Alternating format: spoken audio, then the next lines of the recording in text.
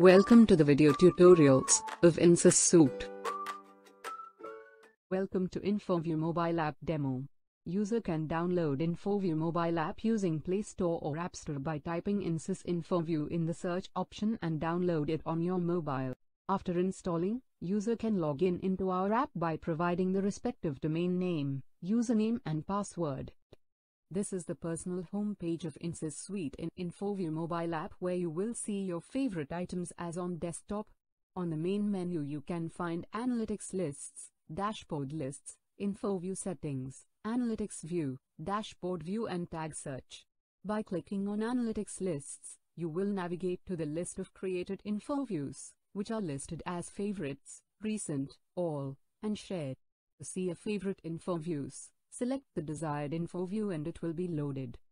To create a new info view click on plus icon. Give a proper name to the info view. Select the required tags from tag search option and click on add. The selected tags will be added. Select desired start time and end time and click on get data. Data will be displayed in info view panels.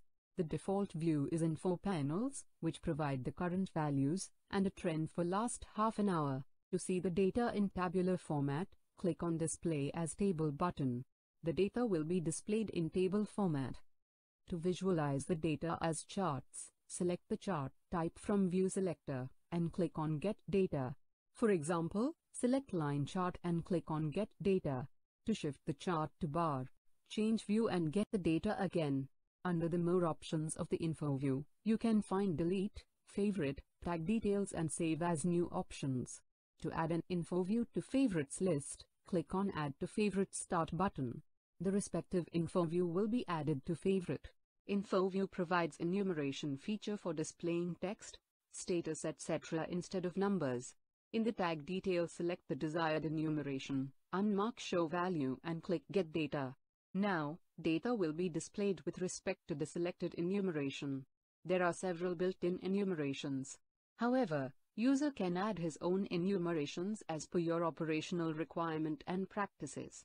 The metrics in InfoView helps to do aggregate of real-time process data. In the tag details we can find the metrics option where we can have the respective metrics such as value, average, change, maximum, minimum, median, standard deviation etc. Each metric has its own functionality and that will help you to analyze the data. You can select the average metric from the drop-down and click on Get Data and the average data will be displayed. InfoView comes with several built-in metrics. However, more metrics can be added by end users who have administrator privileges. The colors and ranges of the tags in views can be modified from the tag details. To change the color of the desired tag, select it from the tags list and change the color using Color Picker. To update the view, click on Get Data. To save InfoView, click on Save. On successful save, a notification is provided with result of save activity. The InfoViews which are created in the mobile can also be accessed from the web app and all the options and configuration remain same. To access dashboards, click on Dashboard Lists from the main menu. You will navigate to the list of dashboards created, which are listed as favorites, recent, all, and shared. To see a favorite dashboard, select the desired dashboard and it will be loaded. Let's select Unit Dashboard and it will be loaded with the desired data. We can add the respective dashboard or info view to our personal home by clicking on More options and selecting Add Personal option. The corresponding dashboard or info view will be added to our personal home for easy access. Sharing the plant data with the team is made simpler with InfoView app. To send an InfoView or dashboard by email, click on Email button. Enter the email ID and comments and click on Send. The info view or dashboard is converted to PDF and sent as attachment along with a link.